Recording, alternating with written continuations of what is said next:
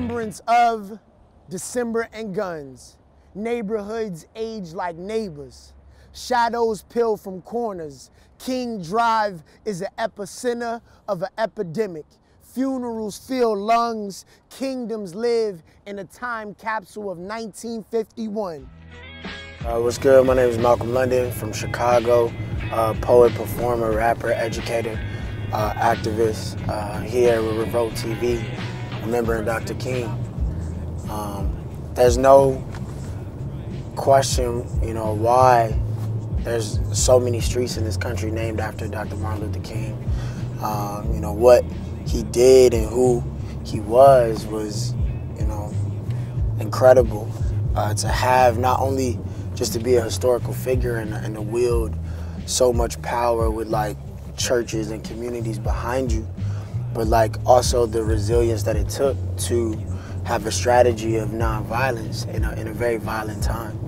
Um, that's something that I respect as an organizer, you know what I'm saying, as a younger cat who's out here and every day we have to listen to and pay attention to names that are that are cremated into hashtags.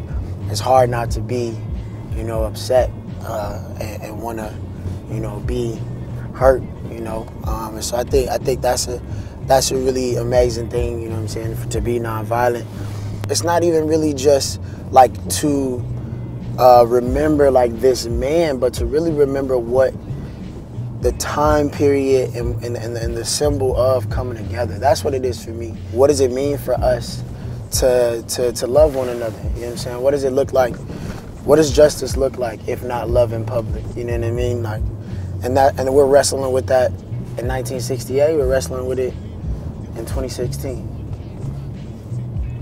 You know, it feels like we're, you know, the 60s was a long time ago, but but it's not. And so, you know, on this day, we, we should remember, you know, that legacy and, and figure out how we can build upon it and understand that we stand on those shoulders of, of folks like King and, and folks like that. We can't change what we need to be by remaining what we are. King legacy tells us it is our duty to fight for our freedom. It's no more optional than breathing.